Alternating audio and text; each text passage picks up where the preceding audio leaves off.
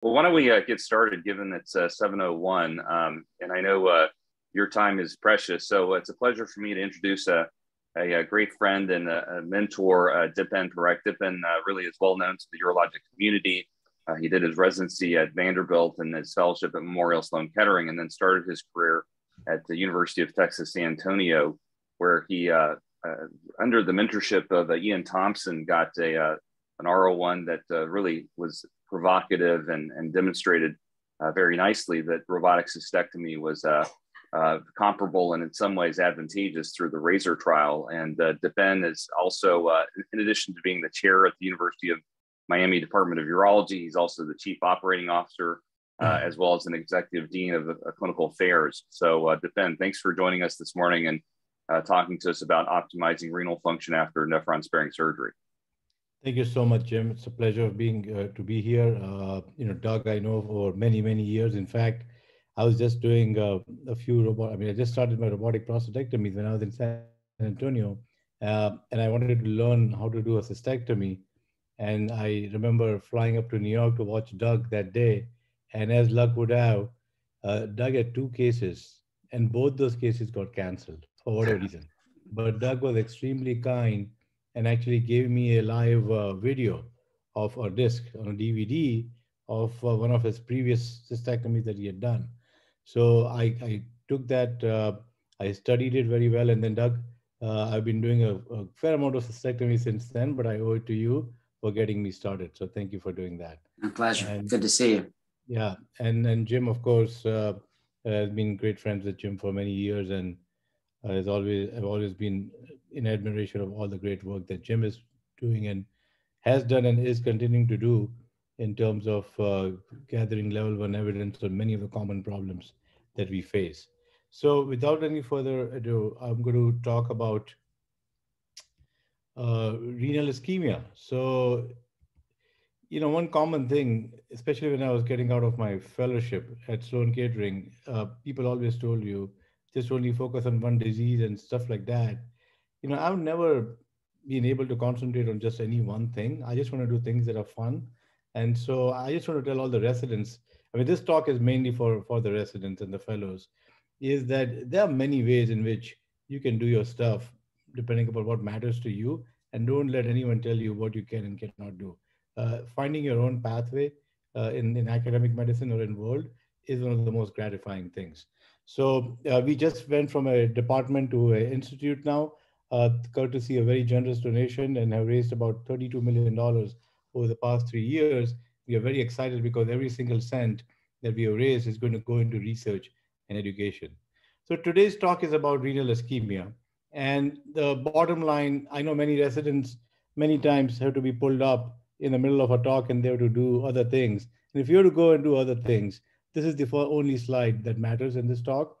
That when you look at renal function after partial nephrectomy, the baseline quality of the renal parenchyma and postoperative quantity that you leave behind are critical.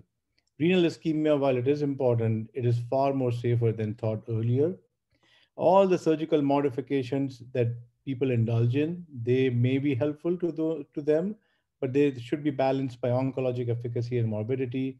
And then many people, especially us as surgeons, we ignore the pre and post-operative preparation of the patient and that perhaps could, could be more important than what we do at the time of surgery. So, hmm, not moving. Okay, so what are the main goals of a partial nephrectomy for kidney cancer? The main goal, the reason you are doing, you're getting that patient on the operating room is oncologic efficacy. You want to achieve cancer control.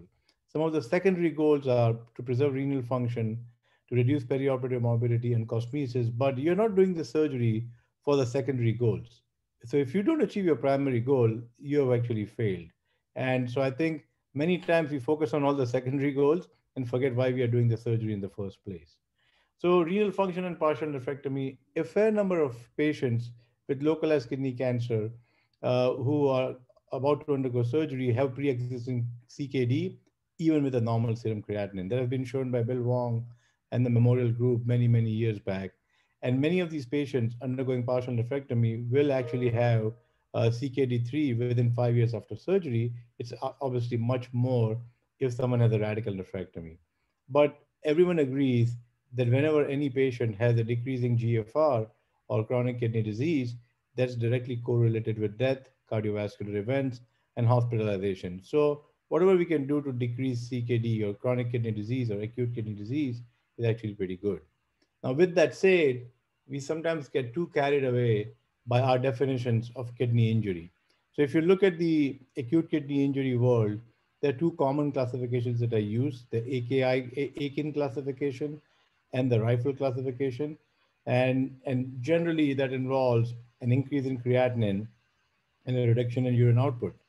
With that said though, the acute kidney injury that we see in our patients. So let's say if you do a cystectomy, if Doug has done a cystectomy and the patient is a little behind on fluid and volume uh, on next post-operative day, it's very unco- not uncommon to see a mild bump in creatinine. So almost every, many patients that we do uh, have stage one or mild acute kidney injury. But that's radically different from someone with endotoxic shock or someone who had a big vascular surgery with aortic clamping and stuff like that. Very, very different. That's something to be kept in mind. So if you look in today's day and age, the significance of really stage one acute kidney injury or early stage of rifle for acute kidney injury in the context of patients undergoing partial nephrectomy is completely unknown. Uh, if you were to ask me, 99.9% of these patients just go back to normal. And if you again con contextualize uh, the, the solitary kidney world, or in what percentage of partial nephrectomies we actually really face this challenge, about 3% of all partial nephrectomies that we do in this country today is in the solitary kidney setting. On those, in those patients, about 20% develop acute kidney injury. But remember, I told you the stage one AKI does not really matter. And only 23% out of that 20% will end up being on dialysis. Actually, if you sum everything up, less than 1% of a patient population that undergoes partial nephrectomy in today's era are at a risk for a significant, and again, I'm underlining significant acute kidney injury. It's very, very uncommon. However, most of the uh, so-called innovations or research that we try to do in terms of technological modification is targeting towards this less than 1% of patient population. If you ask me, it's a lot of wasted energy. Now, baseline renal function, the quality of baseline, baseline renal parenchyma sets the ceiling for postoperative recovery. It is a major predictor for postoperative acute renal failure and end-stage renal disease after partial nephrectomy. So if someone is starting at a compromised renal function and takes a significant renal ischemic hit, then that person is likely to undergo a diminishing renal function. And it's an independent predictor of decrease in GFR, both in solitary kidneys and in terms of patients with two, not, two functioning kidneys. So that is before the surgery. So that means that's your baseline renal parenchyma. There's nothing much you can do about it. Uh, what about the renal parenchymal volume after partial nephrectomy? So what you had and what you left behind. Now, that is also a significant predictor of ultimate global renal function after partial nephrectomy. But as you can imagine, what you leave behind is also dependent upon the volume of parenchyma that you remove, so what you remove, and that in turn depends upon how complex your mass is, what the anatomy is, what the location is, and that actually drives the ischemia time more than anything else. And but it's very, very clearly shown that whatever a healthy renal parenchyma that you can preserve directly translates into a decreased uh, risk of chronic kidney disease. Now, how do you measure renal parenchymal volume after partial nephrectomy? It's typically not done routinely. It's only done for research purposes. You can do it through nuclear scan or a CT scan or just as a as a subjective measure visually. Uh, but as I mentioned before, for the most part, what you leave behind is a function of the volume, the size of the tumor, and the location of the tumor. So then that leads to the one modifiable factor that we think, that the surgeons think that we are under control, and that is renal ischemia. So how reliable is the evidence that limited ischemia is actually not safe? Uh, this is an editorial that I wrote for the EAU a couple of years back, where you know I we've challenged uh, of a very flawed thought process over five decades when it comes to the topic of renal ischemia, and it all stems from this article. This is an article published by the late Andrew Novick in uh, 1983. Uh, so all five decades back. And if you focus on the article, if you focus here, where I've underlined on the right side of the page, uh, second paragraph, it's about canine studies and warm ischemia. They have referenced a referral article of reference number 56, and then they reference a table, table one. So when you actually look back at the table, you see this table, and this table is a very, very simplistic uh, representation of the whole concept of renal ischemia that at, at 30 minutes, uh, you have functional loss of kidney, but it's completely reversible within three to nine days. And anything more than 30 minutes, uh, you, you're more challenged in terms of not recovering a renal function. So that's a table. The problem with the table is that this table is not found anywhere in a peer-reviewed setting. So this article was actually published in the urologic clinics of North America. And as you all know, UCNA is not a peer-reviewed uh, journal. It's just basically a, you know, it's a compilation of, uh, of articles and thought processes and stuff like that. But if you really try to trace this table one, it has not been shown in any peer-reviewed journal anywhere in the history of medicine. So this table just came in UCNA without any attribution to any scientific work. And that the reference uh, that I mentioned, so if you go back here, reference number 56, uh, and it talks about warm ischemia. So that reference that we mentioned is a paper from 1975 that has nothing to do with warm ischemia. This is that paper that is completely to do with cold ischemia. And this paper talks about uh, renal hypothermia during during partial or during partial nephrectomy for stones or transplant or any renal ischemic process, and the entire paper is completely focused on hypothermia that has nothing to do with uh, with warm ischemia times and renal function. So just trying to share that something written in a non-peer peer-reviewed journal about five decades back has been the gold standard in terms of our field following this whole 30 minute cutoff for renal ischemia time for the next five decades. And that's just something that is just very, very difficult to comprehend. But the way we do things, it's actually not that difficult to comprehend because sometimes we do follow stuff based on who writes it rather than what is written. And so I just want you to, to and if you if you look at almost any article on renal ischemia since these, this article has been published, this is the first reference that is cited, attributing this article towards a 30 minutes cutoff for warm ischemia. Now, um, this is a paper that is a co combination study from Mayo Clinic and Cleveland Clinic. Uh, 362 patients. All these patients had only solitary kidney and they underwent partial nephrectomy. And when they looked at all the variables, they did find warm ischemia time as a continuous variable and an independent predictor for adverse renal function.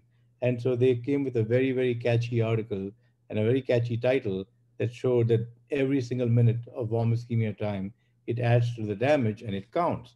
And they came with a new cutoff of 25 minutes. However, when you look at the exact same cohort of patients, and this is in solitary kidney, so mind you, even someone, the staunchest critic of this study would submit that it just makes sense, intuitive sense, that if you have one kidney, you want to limit ischemia time to that kidney to the extent possible. So there's no argument in that. However, when they did the exact same study in the exact same cohort of patients, so same authors, same patient population. And then they added the baseline quality of renal parenchyma and the postoperative remnant quantity of the renal parenchyma in the equation, all of a sudden, warm ischemia time did not significantly pan out as, an, as a predictor of renal function. So two years later, they came back and said that every single minute, therefore, does not count uh, of renal ischemia. Now, then what they also did was they expanded the pool and now they added Memorial Sloan Kettering in the mix. And now they looked at 660 patients. These are all patients with solitary kidneys undergoing partial nephrectomy. And they again found that the quantity and the quality of remnant renal parenchyma was far more important and ischemia time was not an independent predictor of ultimate renal function after partial nephrectomy. But this is what actually happened. So if you look over the last, uh, you know, from 1980s, to or mid 70s, 80s, and all up to 2010, uh, it, it would suggest to you that every minute of renal ischemia counts. However, the problem is that most of the data came from animal studies, renal transplant studies, and retrospective human studies. Now, what happens is once you attest or believe in a thought process or, or principle, and you have written significantly about it, it just becomes impossible for anyone to change their mind on it. And then what ends up happening is that you know people who share the same ideology, the same thought process, they combine, and and this is no criticism. This happens uh, in, in in every field, uh, not just academic but everywhere. But then you combine and you start forming um, consensus. And when when you form consensus uh, and and choose consensus over data, it's a problem. And talking about consensus, I think this is a classic by Margaret Thatcher uh, the ex-prime minister of Britain. Consensus is a process of abandoning all beliefs, principles, values, and policies in search of something in which no one believes, but to which no one objects. The process of avoiding the very issues that have to be solved merely because you cannot get agreement on the way ahead. What great cause would have been fought and won under the banner I stand for consensus. So anyway, the consensus came about and uh, and wrote this article on renal ischemia and kidney function after partial nephrectomy a few years back. Again, if you look at the the authorship, uh, these are extremely strong, uh, accomplished, brilliant surgeons who have written extensively on renal ischemia. The only problem with this group is they only th- think in terms of ischemia, uh, as in terms of just an ischemia time, 25 minutes, 30 minutes, pick whatever time you want to pick and use this as a dichotomous marker. But however, even when they looked at this and they studied uh, trying to apply consensus, uh, please focus on the right side. Look at the level of evidence. These are all level three, level four uh, uh evidence, so very, very weak evidence in terms of uh, the studies or the work that has been done on renal ischemia. You go back again and you see all level three, level four, every single, so they looked at about 30 articles and almost all of them were level three, level four evidences. The only one uh, that was a high level evidence on this subject happened to be a study that we did uh, on prospectively on renal ischemia. And the only reason it's a level two evidence is it's not an RCT. It's a prospective uh, clinical study with some very unique features that I'll get into. Uh, but this is the highest level paper on renal ischemia ever published. There have been randomized trials like the CLOCK trial, but as I'll show you later, uh, even though it's a level one evidence, that trial would have never been allowed to do pursue in the United States. So this is the work that we did when I was in San Antonio uh, about the tolerance of human kidney to isolated controlled ischemia. Uh, this is a very simple study. It's 40 patients, all prospectively enrolled. All, at the time, I was doing open partial nephrectomies. So it was single surgeon. Both these, all these patients had two normal kidneys, uh, uninvolved contralateral kidney. None of these patients had pre-existing end-stage renal disease. And this is a very steady, simple biopsy scheme. So when the patient underwent partial nephrectomy, before we clamped the vessels, as you can see here, and let's say the tumor is here, we took a few biopsies from the renal parenchyma away from the tumor that established the baseline. When we then did the partial nephrectomy, when we clamped the renal hilum, and while we were excising the tumor and doing the reconstruction, we took a biopsy every 10 minutes so that we had uh, we had renal tissues under varying levels of ischemia time. And then at the end of the partial nephrectomy, when the renal tumor excision and reconstruction was all performed, uh, so let's say if it took 27 minutes to do it. Just before we unclamped, or just after we unclamped at 27 minutes, uh, we waited for five minutes for reperfusion injury and again took biopsies. And all these biopsies were then subjected to light and electron microscopy and immunofluorescence. Now, the absolute most unique attributes of this study that makes it super strong is the following.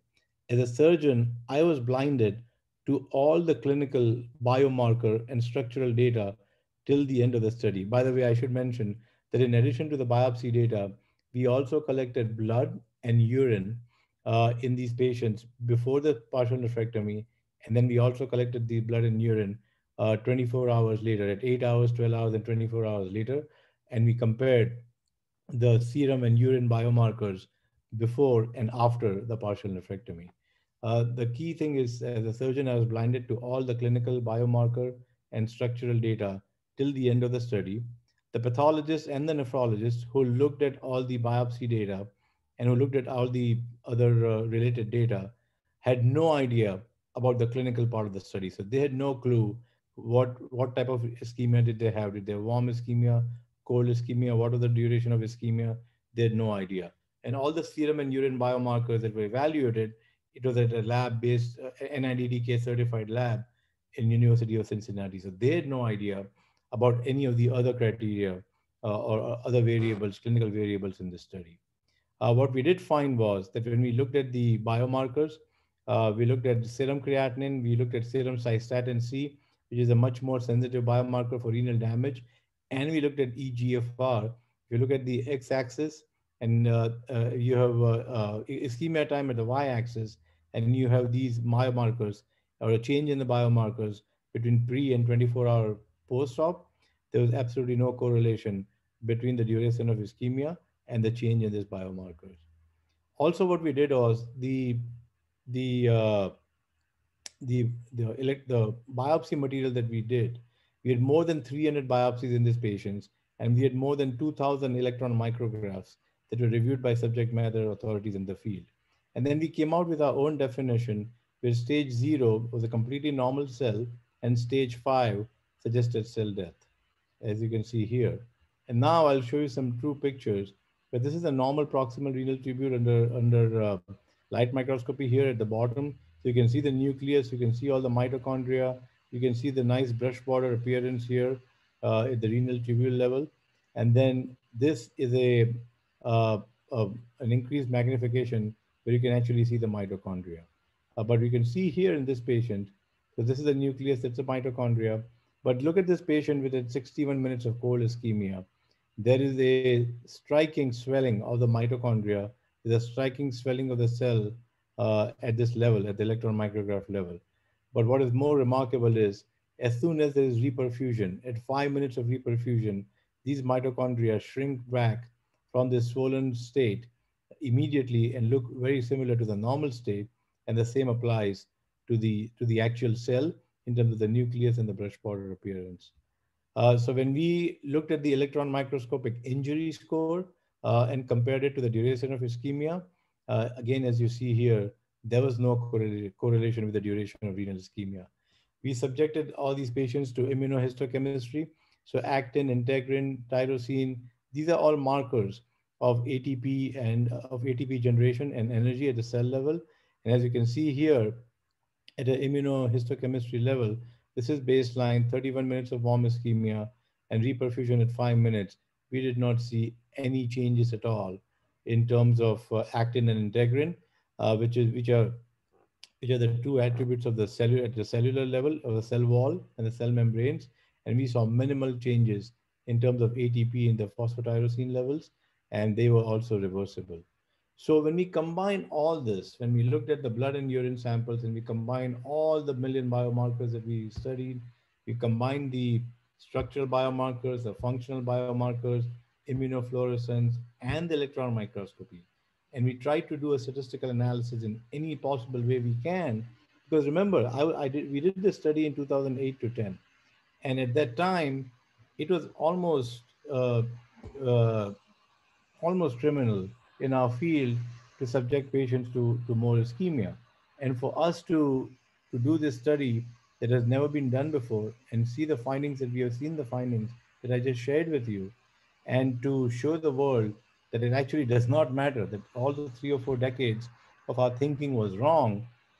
Even I, as a PI of this study, as someone who designed and did the study, was not comfortable with these findings because they just did not fit into the narrative that was in existence for five decades. So we tried to find some correlation, uh, but however, we, we did not find any correlation with the duration of ischemia time. We did find some minimal structural and functional reversible changes. But again, like I said, most of these changes are reversible. They are mild and they're reversible. We again followed these patients up for, for one more year. after the this study was done, and even after a year-long period, we found that the, the duration of ischemia, both as a continuous variable and as a dichotomous variable, more than 30, less than 30 minutes, did not predict ultimate renal function. Subsequent to that, there's been a single surgeon study. It's a randomized clinical trial, single patient, two functional kidneys. There's a very nice study from WashU, and uh, it basically looks at uh, baseline and three-month GFR and nuclear scan. It was a well-powered study to detect drop in GFR on the patients who underwent a full clamp.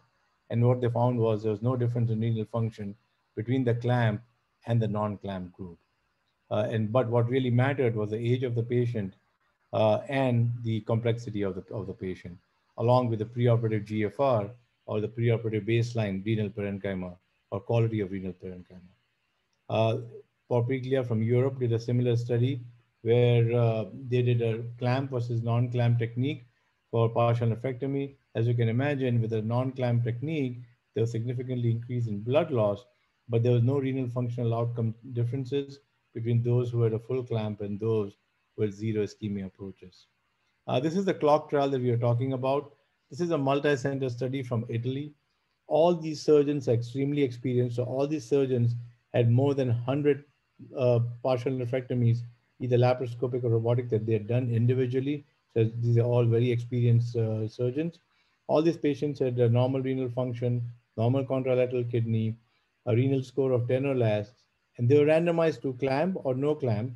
And uh, we, they looked at the renal scans at baseline and at six months post-operatively. The biggest challenge though is in this slide. And this is again, just speaks to not just this study, but generally when you do clinical trial, it's not just enough to do a randomized clinical trial.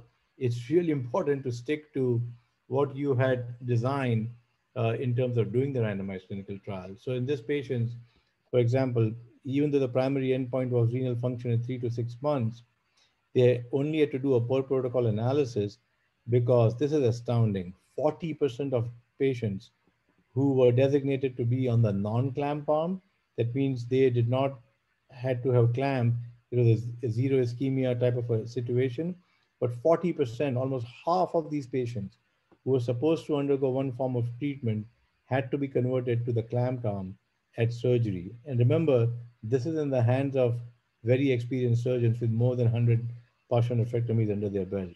And then 14% of patients assigned to on-clamp were shifted to non-clamp just based on surgeon preference. So this is completely gross protocol violation.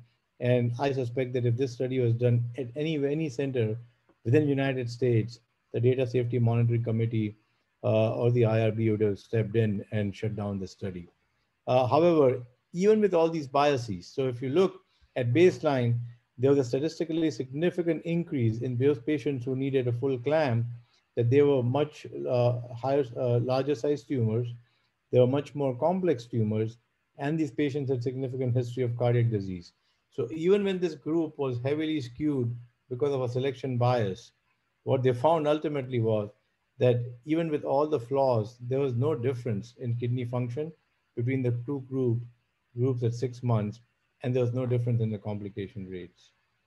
Uh, this is a very, very uh, elegant study that was just recently published, I think this month or last month in European Urology. Uh, what happens to the preserved renal parenchyma after clamped partial nephrectomy? What they did was that those patients who underwent a partial nephrectomy, but later on during follow-up for whatever reason, had to then undergo a radical nephrectomy for a unilateral recurrence. They basically looked at, once they removed the kidney, they looked at the renal parenchyma and correlated that with the renal functional outcomes. This included many centers in China, uh, along with the Cleveland Clinic. Uh, what they did find was this is a review of 147 patients uh, who subsequently had a radical nephrectomy after a partial nephrectomy. And again, this is within what they what they found again is that a decline in renal function was really mild in those patients who had two kidneys and no baseline chronic kidney disease and was independent of his, uh, histologic changes. But most importantly, the type of ischemia, warm or cold, and the duration of ischemia, 25 minutes more or less, yet had absolutely no bearing on the renal parenchymal uh, uh, findings uh, after two or three years after partial nephrectomy. So again, there's one more nail in the coffin of the whole renal ischemia uh, house of cards. Uh, this is the Vattikuti uh, database study. So these are 18 high volume centers across the world because people like to speak a lot about ischemia. They say a lot, but what actually do they do? And if you look here, in this about 1,700 patients undergoing partial robotic partial nephrectomy, 96% of these patients undergo warm ischemia or clamp. 18% undergo selective arterial clamping, and 13% undergo early clamping. So even though a lot of people like to talk about zero ischemia and off clamp and stuff like that, the reality is that even in the most experienced hands, uh, majority of these patients undergo a full clamp ischemia. So the take-home message for renal ischemia is that limited ischemia is safe to perform partial nephrectomy. Again, the fact to consider here is limited. And as you gain experience, you realize that their ischemia times becomes smaller and smaller. So, um, you know, if you are doing a complex partial nephrectomy, if you do, if your ischemia time is 38 minutes, that's fine. Because majority of your patients, your ischemia time is actually less than 20 minutes. Most of the partial nephrectomies that we perform in experienced hands are very, very, they're, they're, they're straightforward in terms of uh, your ischemia time. And if one case takes five minutes longer based on the complexity, that is really not the end of the world. I think it's overly simplistic and naive to consider a single value of ischemia time cutoff to act as a dichotomous marker for renal injury. It just doesn't make sense that at 24 minutes of ischemia, you are fine, and at 26 minutes, you've created or caused irreversible kidney injury. That does not happen. And please always remember the main goal of performing partial nephrectomy is you want to do a safe and sound oncologic procedure. And as you can imagine, it's common sense. If you are doing a surgery in a relatively bloodless field, you'll be able to see what you're cutting in terms of re removal of the tumor, and you'll be able to see what you're reconstructing in terms of the uh, kidney that is left behind. Now, there are people go crazy with the technical modifications of ischemia. There is absolutely no high level data showing any unequivocal benefit of cold over warm ischemia in the partial nephrectomy setting. A lot of studies in the transplant literature of the benefits of hypothermia, but nothing in the partial nephrectomy era. Uh, temperature and the techniques, they remain dependent upon the institution and the surgeon. And you'll see all these articles that keep coming. They, they, there's a lot written on them over the last two decades about early unclamping, off clamp, selective clamping, zero ischemia. All these things are just uh, simply said not necessary. Uh, the technical modifications, how much of a margin do you really need? Uh, there's enough evidence to show that one cell layer of a negative margin is enough. Uh, if you do enucleation, that's good enough compared to leaving a, behind a, a, big margin.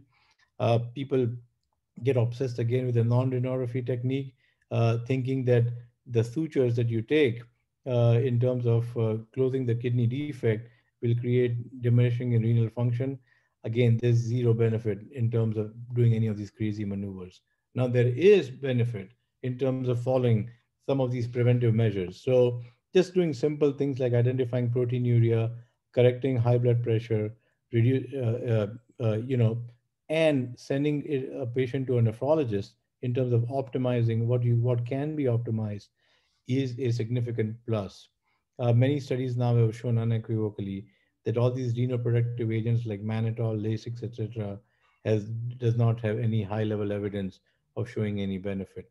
This is a simple study uh, of about 40,000 patients with diabetes and chronic kidney disease, and the mortality of the patients of these patients is directly linked to the number of visits that they uh, make to the nephrologist. That means that if they go to their nephrologist, if they control their proteinuria, their high blood pressure, their diet, the simple things, and they regularly follow up with a nephrologist, their risk of death is significantly lower.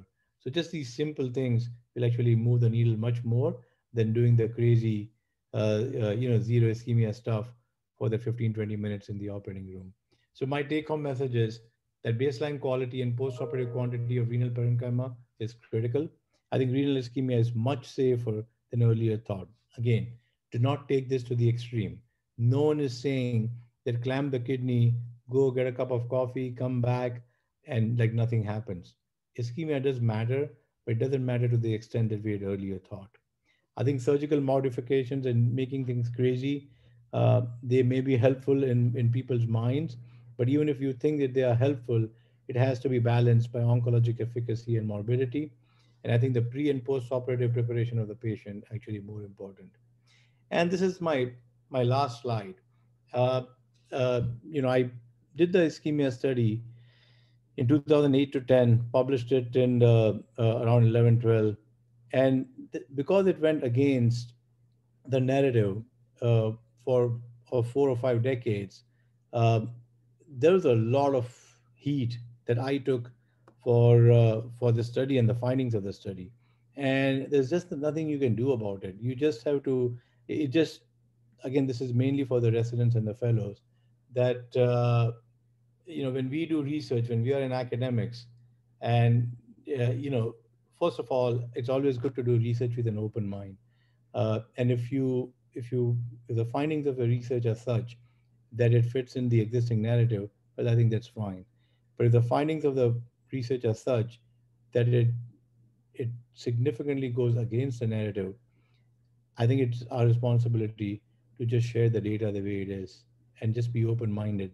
Uh, that's the reason why we all came into academics in the first place. Um, that we keep an open mind um, and we try to study things that that seem interesting to us, and then just go with that. The reason I I, I say this is this is the editorial from uh, Alex Kutikov uh, uh, this month in European Urology, where he questions this whole renal ischemia time exercise. And it's, it's great to see that all of a sudden, after 10 years of uh, trying to just share your findings and, uh, uh, you know, being questioned and, and you know, occasionally ridiculed and whatnot, uh, all of a sudden it, it has been acknowledged as, as a seminal work uh, in terms of uh, in, in, on this topic. And, and, the, and the only reason I, I show this is not to pat myself on the back, but to just share with you that sometimes it just takes a long time for things to sink in, for other people to do the work that you did and build on that work and show the same findings that you showed. And I'm just lucky that uh, this happened in 10 years but sometimes it can take two, three, four decades, and sometimes it will never happen. But I think there's still satisfaction that we try to do our best work and and try to eliminate as many biases as we could and publish our, our results, whatever they are, and, and let it take the life of its own in the end. So with that, I'll end. And thank you very much again for the opportunity, uh, Jim. And I uh, look forward to answering any questions. Thank you. Ben, that was great. Thank you. Um, you know, I'm reminded of uh, kind of the, the elements of your talk. Uh, you know, Dr. Walsh used to always say that uh, I think this had to do with nerve sparing. They first they say I don't believe you. Second, they say uh, I can't make it work, and then third, they say uh, we knew it all along. So, uh, so I think that parallels all the, the very nice things that you showed even way back then. So, so Dipen. You know, you mentioned kind of for the trainees, and you certainly had a very um, a meteoric rise and taken on more administrative responsibilities running the University of Miami health system. So, so what kind of advice can you give our, our trainees at their uh, both the resident and, and fellow level and junior faculty? Sure. So I have two pieces of. Uh, it's not an advice. I'm not. I've not reached a point in my life where I can give advice, but I can just share what I think worked for me, and this is what I share with my faculty, my residents, and fellows. Uh, two things come to mind. Number one, uh, sacrifice short-term gratification for long-term greatness. Uh, what do I mean by that? Uh, you know, I realized you could you could do you know different people do different type of work, and sometimes uh, you know that has much more. So if you investigate a, a Medicare database, or if you investigate an uh, uh, you know NCDB database, or you do retrospective studies and stuff like that, it's easier to publish that uh, because it's just the data is available and stuff and, and all those things. And so as a resident or as a fellow, you can do that because you have very limited time. But when you are, when you start into academics uh, as a faculty, I think sometimes people get very seduced by some of the perks of academics in terms of being invited for meetings, being on the podium to moderate sessions, give talks, and so on and so forth. And once you realize that some of the things that you do in terms of short term that get, gets you that notoriety, you become a victim of that, and you will never be able to produce your best work that could possibly take some longer time.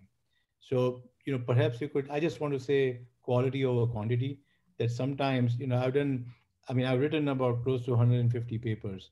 Uh, but if you ask me what I'm most proud of, it'll be this ischemia study, the RAZOR trial, the 4K score. I can just name maybe two or three things.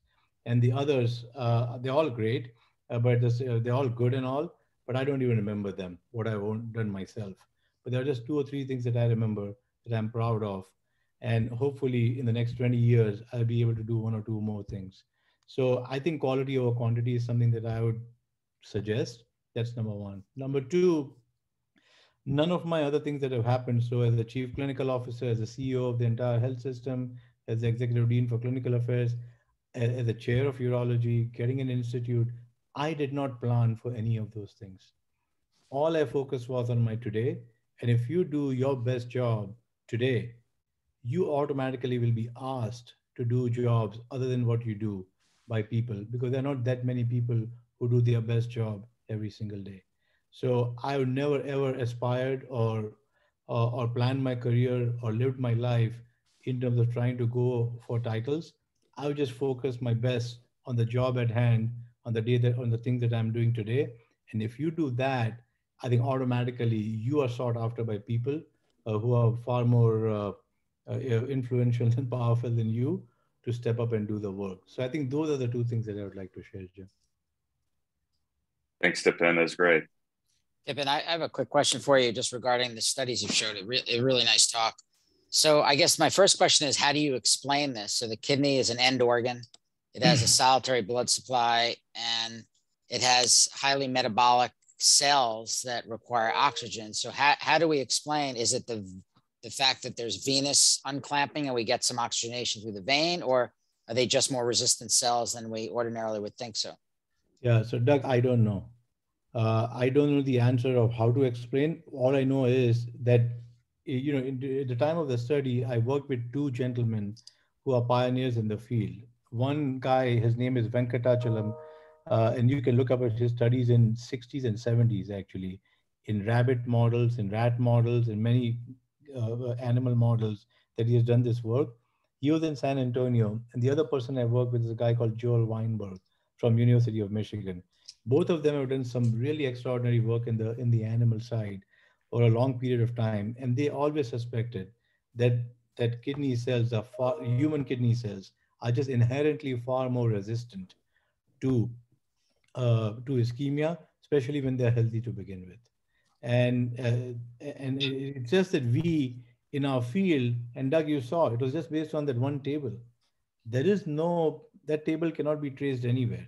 So we just decided in our mind uh, based on that one table and that hypothermic article that the 30 minutes so imagine doug instead of that 30 minutes if andrew novick had written 60 minutes then the gold standard would have been 60 minutes so i think this whole narrative of more or less resistance is because of this, this time limit of 25 or 30 minutes is imprinted, imprinted in our mind. If that time limit was 60 minutes, no one would be talking about renal ischemia. So I think that the narrative is just based on the this imprint that we all have based on these previous studies. But I think the inherent baseline of a kidney, a normally functioning kidney, is in my mind about 60 to 60 minutes to 90 minutes, if you ask me. Uh, it's just that we, because we behave, believed in that previous study, we, we are fixated on a 30 minute interval. But with that said, anytime you have a baseline CKD, it goes crazy when there is ischemia. So you're right. If that kidney, if that renal function, if that function is compromised because of pre-existing CKD, and then you subject these patients to ischemia, the the detrimental effects are exponential, not incremental.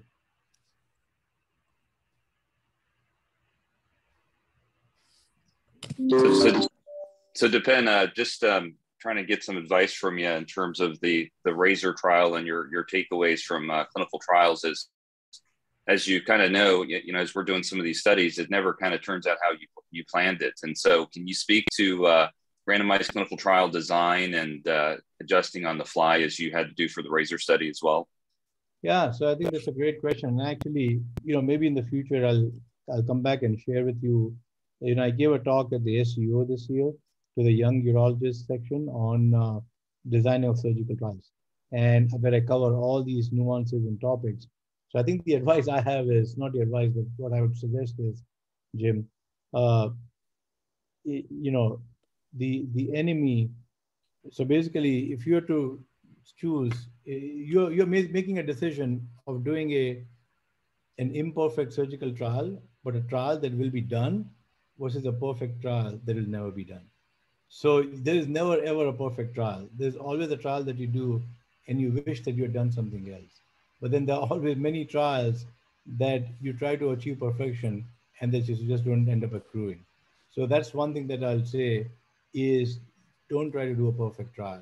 Try to do the best trial you can to answer that endpoint. That's the most important thing. If you if you're designing a trial, so you're doing the the prostatectomy trial, for example, with the red sparing of the hood or whatever you're doing, if you are doing that, and if you're answering your primary endpoint, to me, that's a mark of a successful trial. That trial is not going to answer all the questions in the surgical management of prostate cancer. But if you're just going to answer that one question, then, then you've done a great job, I feel. Uh, I, you know, and, and then there's logistics. You know, you need unlimited amounts of money to do a perfect trial. So I'll give you an example with the RAZOR trial. That one of the things uh, was that pathology review. Now, if I have 15 academic health systems, I really don't think I need a centralized pathologic review. These are all state-of-the-art, great medical centers uh, that you know you you know they publish regularly. I'm, I was very comfortable in eliminating that one step uh, on purpose to make sure that you try to be more practical and pragmatic about getting things accomplished. So that's another example that comes to mind. So I would say that that's what I would do.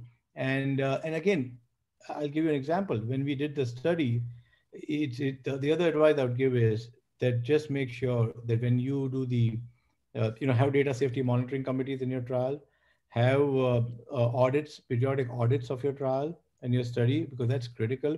I mean, I just had one computer glitch uh, in the RAZOR trial, uh, especially when it come to came to the margins between the robotic and the open arm, and and and we realized that that erroneously attributed high positive margins to the to the robotic arm compared to the open arm.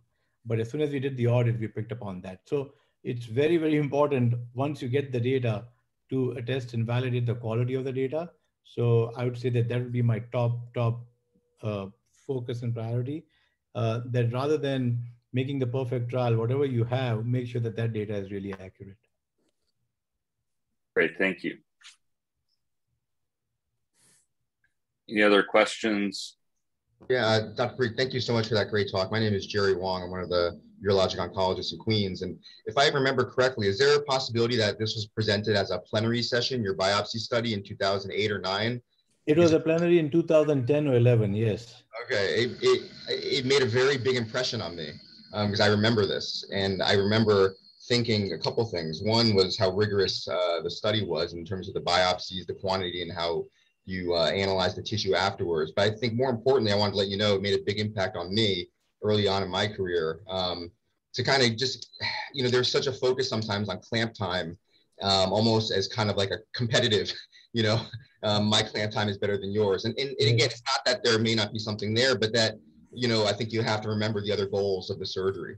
Um, and um, so I think it gave me confidence also um, early on when training residents that, you know, that during certain parts of the procedure, um, it may add a little bit of clamp time uh, if you allow them to do some of the suturing um, in the repair. But I think that that is part of the balance of what we do. You know, you have to be able to do that, uh, even if maybe it means a minute or two or whatever of uh, more of clamp time. That you also do have multiple things you need to do.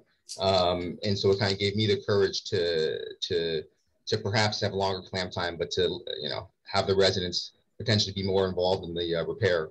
Um, I, I, think one other thing also that, that Doug brought up, you know, I wonder also if our limitations in these studies, you know, sometimes it's just because we don't have a good enough marker for kidney function. You know, I think that when you do studies in patients who are healthy with two normal kidneys, um, we may, I don't think our markers are sensitive enough sometimes to pick up um, uh, subtle changes when there's so much reserve, you know, and I think that um, certainly when I think about clamp time, um, I, I do sometimes vary it based on kind of like, as you said, what's most critical is the baseline function and the baseline parenchyma that they're coming in with, because I think that has a pretty big impact. Yeah, no, thank you. I think you're, uh, first of all, I really appreciate your comments. If, uh, you know, in the course of your career, if you, you can positively impact one person, I think that's, uh, uh, you know, what else can you ask for? I mean, we live and die for that. And so I really, really appreciate your comments. I like the fact that you, you realize the value of uh, not going crazy. I mean, you should just go to a operating room uh, that that believes in clamp versus non-clamp, and you'll see two totally different types of operating rooms. One operating room will be will have a calm demeanor, uh, very smooth, efficient, no one's panicking, and the other operating room is from the time you clamp, this is hysteria, craziness. People pre-place all their needles in the ab abdominal cavity. It's like literally it's like a life and death scenario in the in the um, in the operating room, and you just laugh at uh, at that. I mean, look, I've done more than six thousand robotic surgeries. I do on an average close to 100 partial nephrectomies at least over a course of a year, and uh, I would welcome any of one, any one of you, to come and watch it. In terms of, uh, you know, even the most complex ones that you do, generally the ischemia times are fine. They are always most ischemia times are literally between 10 to 20 minutes. 90, I would say 95%, maybe 5% of cases every year. And because we do all complex cases, your clamp time is between 25 to 30 minutes or 35 minutes or something like that. And it, it really does not matter. It really does not. Hi, Dipen. This is Larissa Rodriguez. Nice meeting you. Thank you for coming this morning. Um, I had one question. I know you, your cohort you followed at a year. Have you been have the opportunity to follow the cohort later on? Because you know there's difference between acute changes that you might detect versus chronic yeah, changes. That's one question. And the other one, I am not an oncologist. I don't do partial nephrectomies, but you know all these studies clearly people think uh, um, clamping is important. There's always a limit, like a ceiling. Do anybody know where that ceiling is? Yeah. So first of all, congratulations, Teresa, on uh, on your new gig. Uh, I'm sure that you're going to do wonderful things for for Weill Cornell. Uh, so the second, I'll answer the the second question first. It is uh, you know the ceiling. So in our study, the patient with the longest ischemia time was 61 minutes, and that patient did just fine.